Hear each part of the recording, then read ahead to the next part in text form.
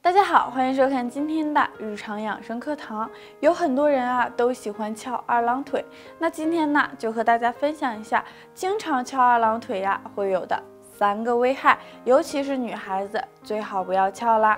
一、影响脊柱的生长，甚至会导致脊柱变形。那正常的脊柱呢，应该是直的，但是如果你长期的翘二郎腿呀，就会使我们的脊柱向一侧弯曲，这样就会导致腰疼和腿麻的现象出现了。二、导致静脉曲张的出现。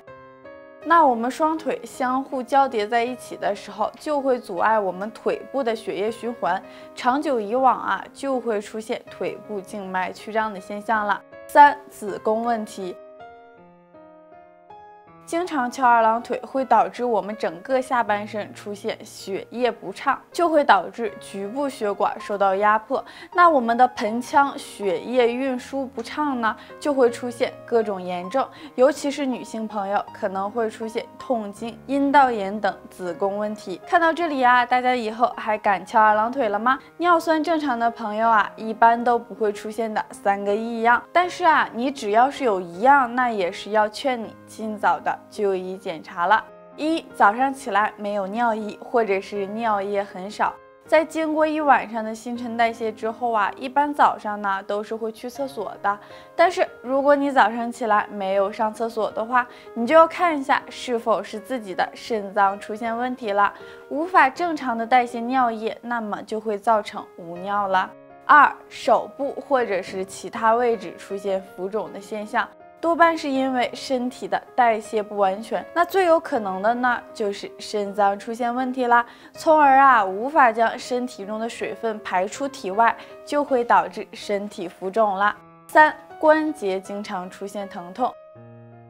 那可能是因为身体中的尿酸过高出现的结晶现象沉淀在我们的关节位置啊，这样呢就会产生关节疼痛啦。大家有这样的现象的话，就一定要注意了。是不是有很多人啊都在为自己的脚气而烦恼呢？脚总是又臭又痒。今天就来分享一种树上的叶子，经常拿它来泡脚，赶走脚气，脚气不再反复，那就是柳树叶了。柳树啊，无论在哪里呢，都是非常常见的。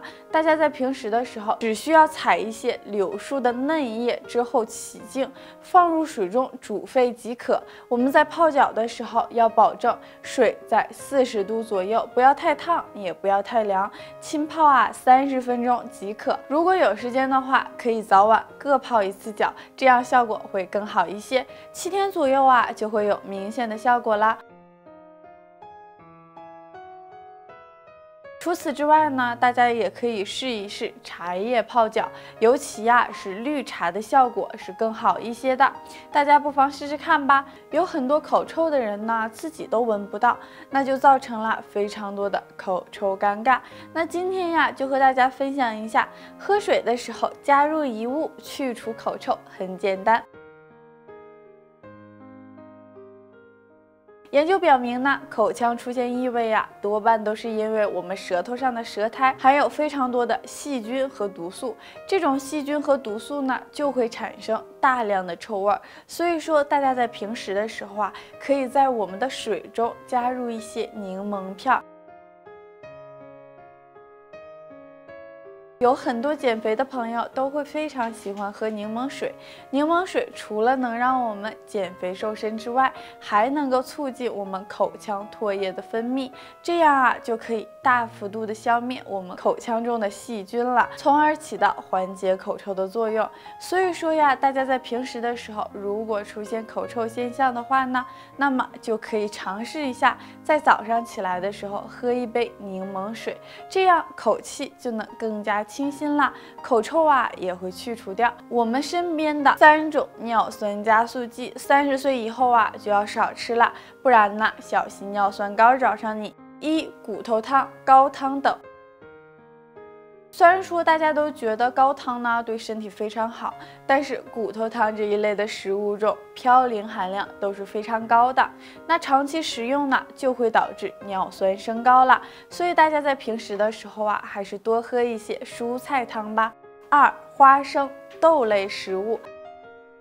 这一类食物中的嘌呤含量啊也是非常高的，大家在平时的时候呢也是需要少吃，尤其是减肥的朋友，这类食物啊就更要少吃了。三调料。有很多朋友呢，都特别喜欢重口味，尤其啊是像蚝油、海鲜酱油这一类的调味品，大家都非常喜欢用。但是这一类调味品那都是经过浓缩提炼的，其中的嘌呤含量呢也是非常高的，不建议大家大量的食用。大家在平时的时候一定要少吃这三种食物。好啦，今天的分享就到这里了，感谢大家的观看，我们下期再见。